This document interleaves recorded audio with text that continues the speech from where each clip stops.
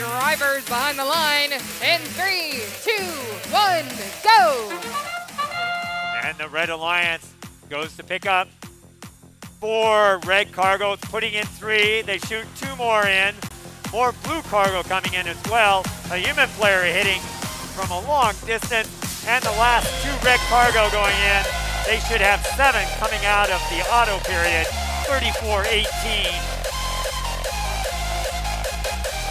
973 running across. They have 66-19 chasing them. Gravitech X has the assignment of defending 973. 40-10 shooting from that far rail, one of their favorite spots. 1323 drifting around over to collect red cargo. 973 putting up two more. Into the blue hangar goes the Madtown Robotics. 5817 is going to be playing defense on the Blue Alliance as well. Over on the red side, 115 putting up two cargoes, putting up two more blue cargo. Red has 27, 28 red cargo with 83 seconds to go. 82-28. We have 66-19 still chasing 973, trying to slow them down. 40-10 is shooting from that blue tarmac.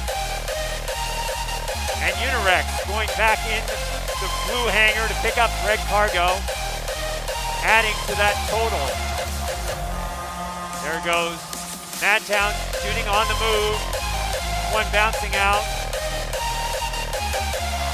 56-19 still working on 973. 120 to 32.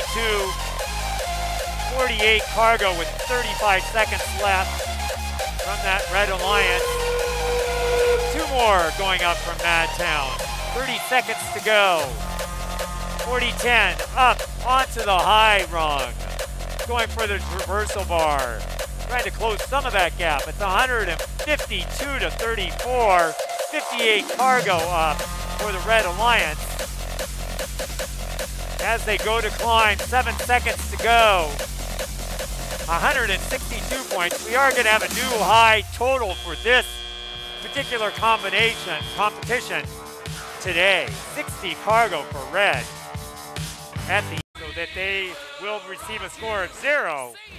But the Red Alliance sets a world high score of 181 points, breaking the previous score by one point.